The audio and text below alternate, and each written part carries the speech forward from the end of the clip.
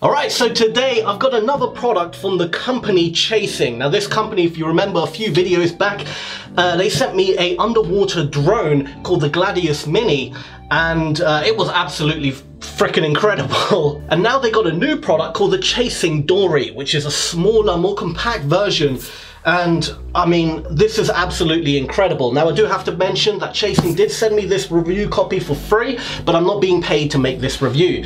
So in this video, I'm literally gonna unbox it quickly, show you around, and then I'm gonna pop out and well, chuck it in some water and see how well it performs really. So how about we crack it open right now? I'm super excited. I mean, just look at this box. Absolutely fantastic. It looks beautiful. All right, so, oh, oh. Oh, look at that. Oh, just the packaging is so nicely, oh God, look, okay. This is amazing. All right, probably not very PG, the sounds I'm making. but all right, what do you get in the box? Of course you get the actual drone itself. I'll crack that open in a second. You get uh, I think this is going to be an instruction manual on cables and things like that. What else? So if you don't know, this product is now live on Kickstarter. You can actually pick up a Chasing Dory at an incredibly low price. Uh, so definitely worth, if you're interested in getting an underwater drone, this is the opportunity. I'll leave a link to it in the description below. But anyway, so you get the Wi-Fi module basically. So just like the other one, we had a router or router if you're in America. Um, and this is basically the Wi-Fi module. So this stays above ground. This stays in uh, you know out of the water. You get the cable that ties it all together as so. You get a bunch of other cables to you know connect things together. So a power brick and a charger. And then you get as you can see all the different world plugs. So this is the British plug. You got the European plug, plug here. What else we got? Ooh. You got the American, I think. I think this is North America. And that looks almost identical. I'm sure there's a difference. One of them. I'm not entirely sure. And then I don't even know. Maybe that's the American one. I'm not entirely sure. But basically you get a plug for every place in the world. So don't worry. No matter where you're from, you'll be able to charge it. And that's basically all you get. Because this is, like I said, the compact version. This is all the necessary stuff so let's crack open the actual chasing dory itself. I want to keep this part quite short so I can actually go out and show you. Oh God, look at it. Look at that. This is absolutely amazing. Let me put all this to the side, all this stuff that we don't really care too much about. Let me put all that to the side. This is the Chasing Dory. Now, first impressions, of course, it's absolutely tiny. Look at it. It's about it's just a bit bigger than my hand and I've got quite small hands for a man. So this is uh, genuinely very, very tiny. Um, next to an iPhone. So this is the XS. This is not the big one. This is the rather standard size iPhone.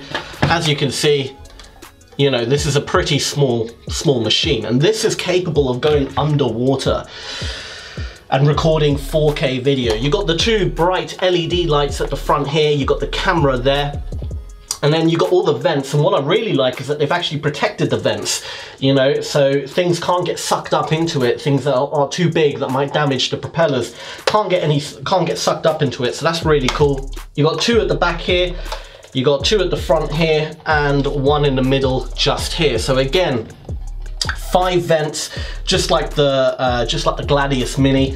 You got the port this time. The port to connect it to the Wi-Fi module is actually at the back, so it's more streamlined. It's more agile. I think this is going to be seriously quick in the water because the Gladius Mini, which I'll also be popping out and testing today as well. So I'm going to be doing a huge underwater test of all different of the Gladius Mini and the Dory. Um, but I'll be showing that in a different video. Uh, so yeah, this is pretty damn, I mean, the build quality is absolutely beautiful. But enough about the build quality, enough about the actual styling. How about we go out and give it a proper good test. I am super excited. Now I do want to say that in the UK the waters in natural lakes are not the most clean. Uh, you know, you're not gonna get, it's not like the Maldives where you've got the beautiful turquoise coral reefs and, you know, beautiful snorkeling water. That's, that's not what we have, unfortunately, in the UK. Unfortunately, in the UK, we have muddy, dirty water and potentially a few dead bodies. But that's about practically it. So, uh, so unfortunately, you know, a product like this can't be used to its full potential where I live. But now that it's so small and compact, I, whenever I go on holiday, you better be sure I'm taking this bad boy with me. This can fit in any backpack, nice and easy, on hand luggage, no problem. It weighs hardly anything, but it's quality built. So yeah, let's go ahead, pop it out, and give it a good test.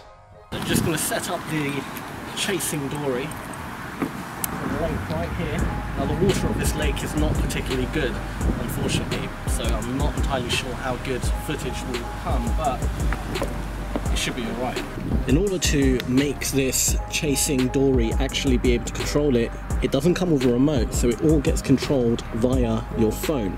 So you're going to download their app. Once it's downloaded, you'll be able to hook up to the chasing dory and basically control it all from your phone as well.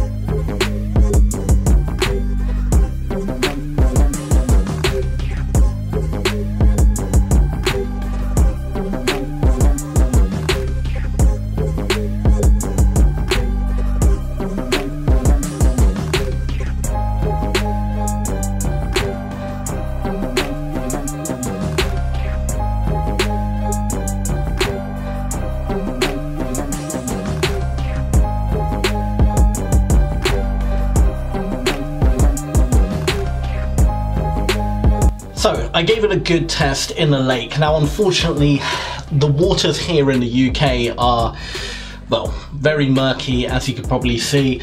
Um, it's just not clear water and there is no clear water lake anywhere nearby where I live unfortunately. Um, so I couldn't test it to the full degree uh, that I hoped.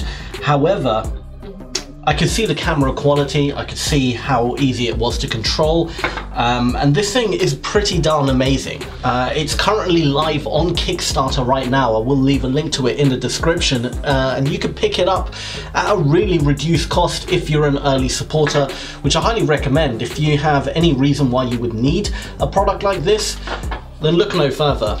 Um, it all gets controlled via your phone. You don't need any more a separate, uh, separate controller. It's all done through the app on your phone. Um, it's really easy, really intuitive to control.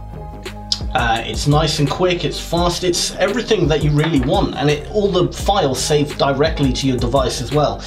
So it's it's perfect for you know putting in your backpack if you're going on holiday uh, you could probably catch some really cool footage, you know, especially if you're going somewhere that has really nice uh, lakes or oceans or so forth. Um, this is a really cool product. So that's the Chasing Dory. I do want to thank Chasing, the company itself, for sending me this review product. Uh, I had a real blast playing around with it. Um, and yeah, I'll leave a link to it in the description. It's live on Kickstarter. Do go ahead and support this company.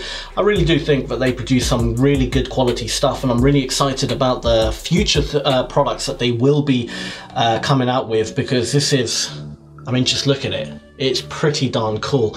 There is still a bit of water on there. but yeah, such a cool product. So yeah, guys, if you haven't yet subscribed, go ahead, hit that subscribe button. Also, hit that bell icon so you never miss any of my new uploads. I got a lot more stuff to unbox and review, so I hope you stick around. Um, but yeah, other than that, thank you for watching, and until next time, feed your mind.